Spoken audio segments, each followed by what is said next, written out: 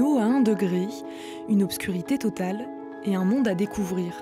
Bienvenue à 2500 mètres de profondeur dans les fonds marins de la dorsale Pacifique Est, une chaîne de montagnes sous-marines qui abrite des sources d'eau chaude.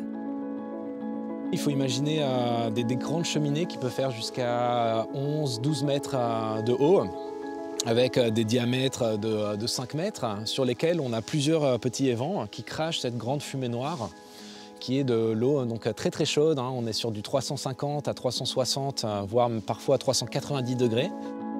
Et justement, cinq nouvelles cheminées hydrothermales viennent d'être découvertes lors d'une expédition menée par le laboratoire brestois Géo-Océan, dont fait partie Thibaut Barrère.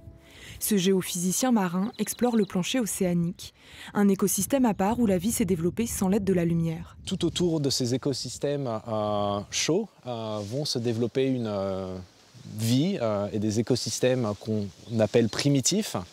Voilà, donc toute une, chaîne qui part du petit, euh, de la petite bactérie qui va convertir cette chaleur et ces éléments chimiques en énergie, jusqu'au plus gros poisson euh, voilà, qui, se nourrit ainsi de suite sur toute cette chaîne trophique. Vers marin, anémone, pieuvre, Autant d'espèces qui aident les scientifiques à mieux comprendre les conditions nécessaires à l'apparition de la vie sur Terre.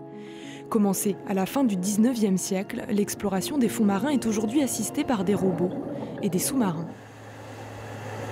Ce sous-marin, euh, nous permet de, euh, ben, de nous emmener euh, à l'endroit même de notre étude. ça nous permet de voir les choses avec nos yeux, ça nous permet d'interagir avec l'environnement avec ses bras mécaniques, de prendre les échantillons dont on a besoin, d'être à portée de main au final de, ce monde assez féerique.